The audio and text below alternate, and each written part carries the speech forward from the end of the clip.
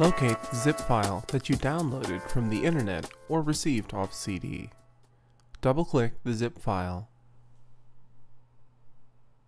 From the File menu, choose Extract All. The wizard will appear. Click Next. Then click Browse. We'll create a new folder for the contents of Music Ed. Click My Documents and then choose Make New Folder. We'll call ours Music Ed Font.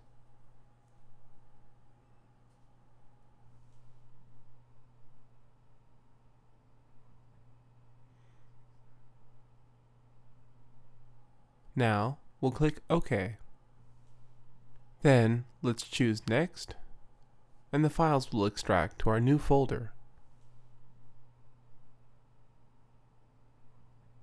Now we see the contents of the MusicEd zip file with the MusicEd fonts represented by the O icons. To install them, we'll go to Start, Control Panel. Here we see the control panels in Category View. We'll switch to Classic View. Now, we'll choose Font, and the Fonts window opens. Let's go to the taskbar and choose the Music MusicEd folder. We'll reduce the size of the folder so that we can drop the fonts into the font window. Click the first font, hold shift, and then click the last font. Once all the fonts are highlighted, drag them into the fonts folder. The fonts are now installed.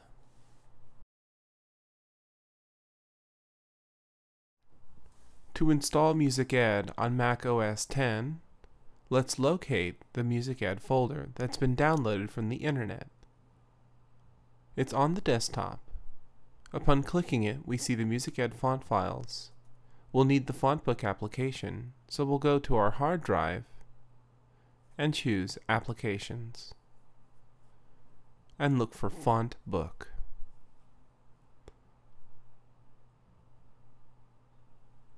The FontBook application is responsible for the installation of fonts on OS X.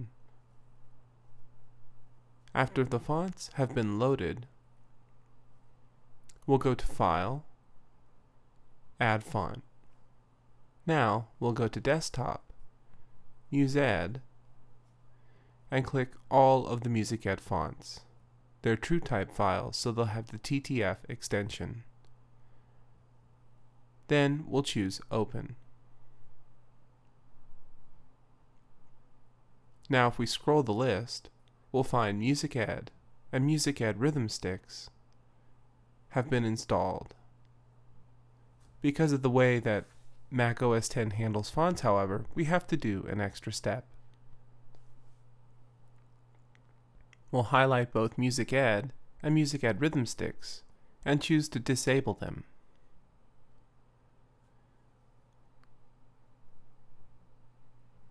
Once they've been disabled, we'll close the FontBook application. Then we'll start it back up again. We'll scroll the list and find MusicEd and MusicEd Rhythm Sticks. Now we'll enable the fonts.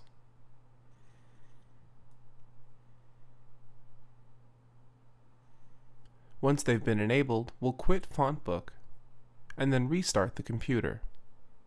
After the computer has been restarted, the font should be ready to use in any application.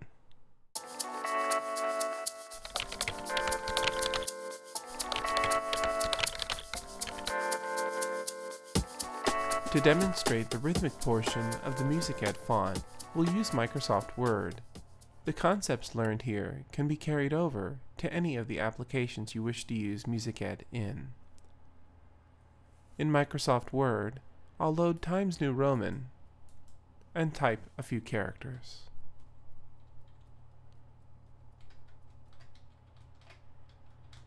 What looks like nonsense will be turned into music with the MusicEd font. We'll highlight the text, and from the Format menu, choose Font, and then choose MusicEd from the drop-down. Now we see that those characters have turned into music with the MusicEd font. This is to demonstrate that each of the characters is mapped to a specific note, hand sign, or keyboard marking using MusicEd. This time, let's actually type the music with MusicEd loaded. Notice MusicEd is chosen from the font menu. We'll start typing.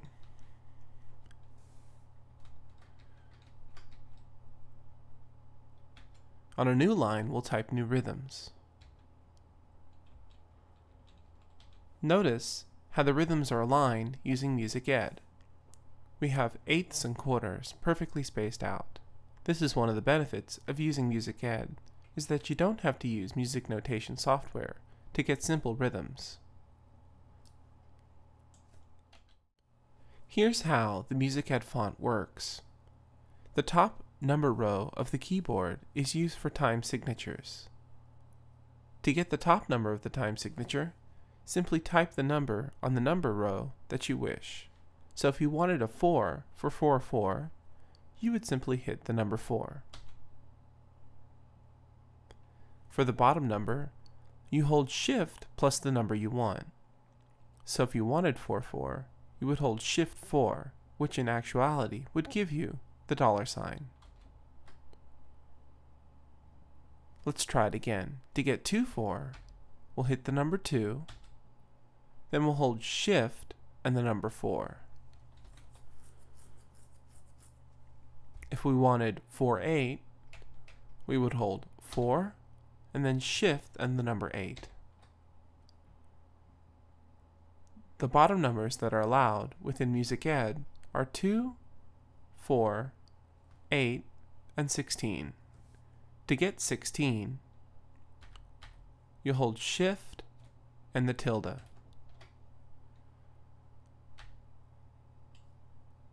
Note values are also used within MusicEd for the bottom number. To do this, we'll type 4 for the top number, and then Shift 5 for a quarter note. The note values are located surrounding their numerical counterparts. So 2, and if we wanted 2, 2, we would hold Shift and 3. Consult the character map for specific mappings of numbers and numerical values for time signatures. To type rhythms with the MusicEd font, you use lowercase letters for notes and uppercase letters for rests. For instance, if we wanted a quarter note, we would type lowercase q, and for a quarter rest, uppercase q. Now, the half note is mapped to the W key, so lowercase w, uppercase W. As well, we can click lowercase e and uppercase e for a whole and whole rest. The notes for the music MusicEd font are mapped out ergonomically on the keyboard so that all of the basic note values are located to the left of the keyboard. Q for quarter, W for half, E for whole. Then A for a flagged eighth note, and Z for a flagged sixteenth. About eighths and sixteenths. To create beamed groupings, we'll hit S to start the beam of an eighth note. And we'll continue to hit S to continue the beam as long as we desire. To close the beam, we'll hit D. The same rule applies for 16th notes. X will start the beam groupings. C will end the beam groupings. We'll use Times New Roman to see what this looks like in characters.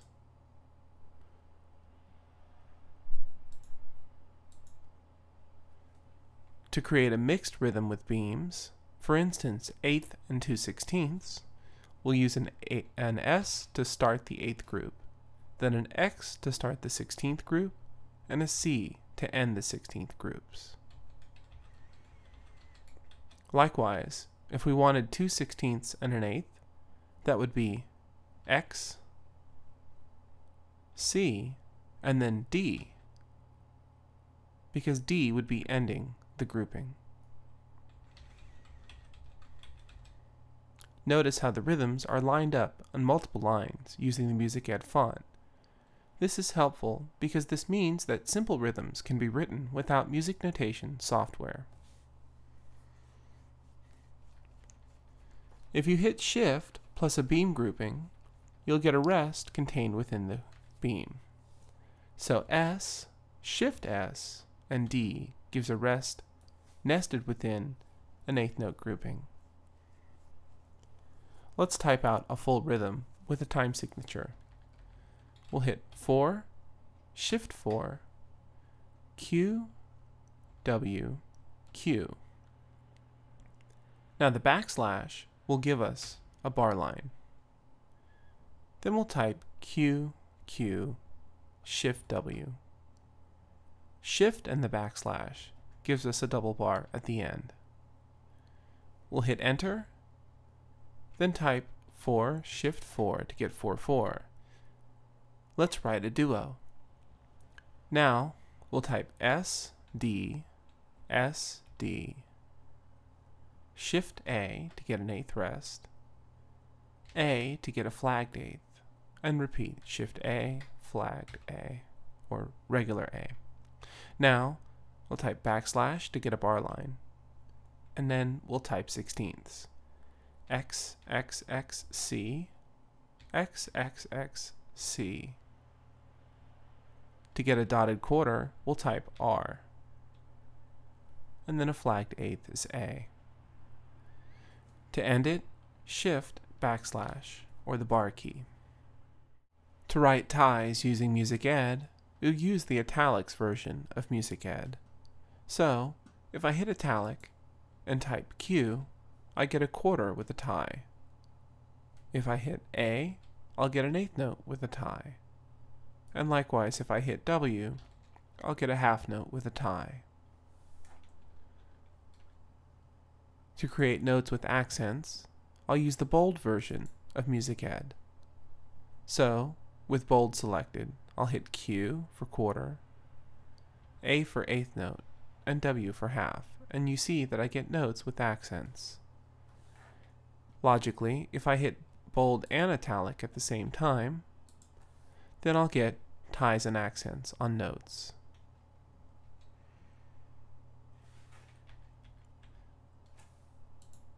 A word about ties. When you want to tie over a bar line, it's a little tricky. You see that if I type Q and the bar key, the bar line appears after the tie. To tie over a bar line, you'll make sure italics is pressed, and you'll type shift plus the rhythm that you want. So shift Q will give me a quarter with a bar line.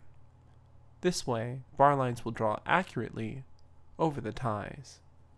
So shift W with italics would give me a half that ties over a bar line. Here, I'll write out a rhythm using mixed versions of the MusicEd font.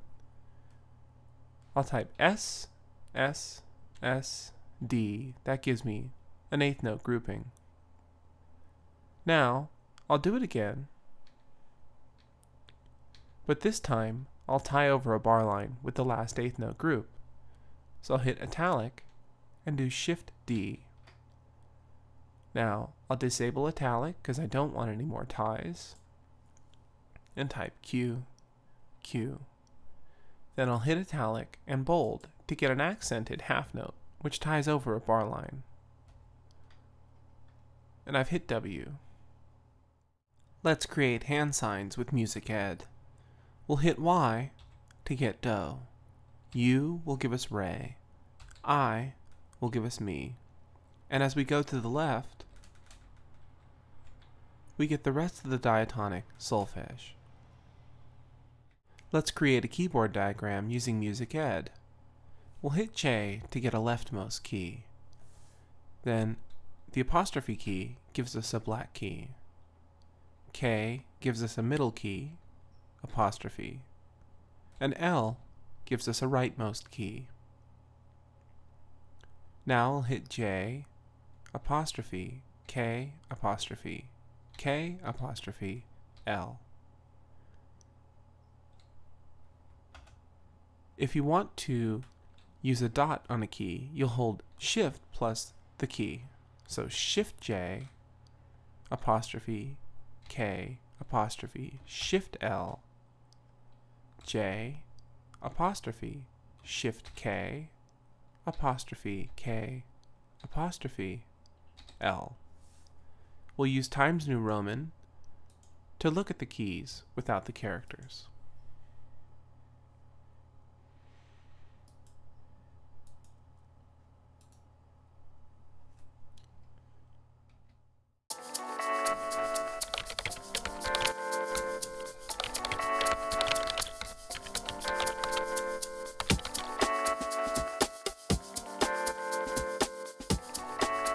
When music MusicEd with a program that has spell and grammar check functionality, it's a good idea to turn off spell and grammar check so that MusicEd can function properly.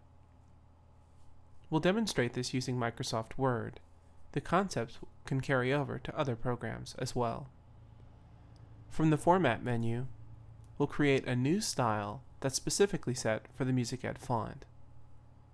We'll go to Format, Styles and Formatting. At the right, the formatting pane has opened. We'll choose New Style.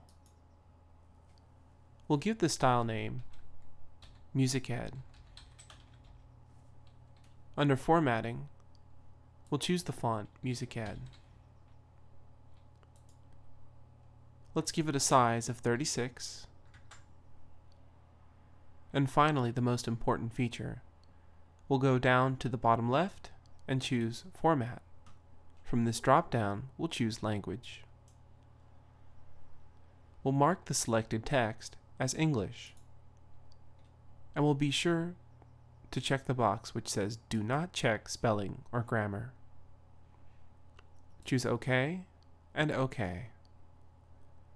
Now, to use MusicEd, from the Styles and Formatting pane, we'll choose the MusicEd style. We see that in the main window, the font is changed. Now we'll type our characters.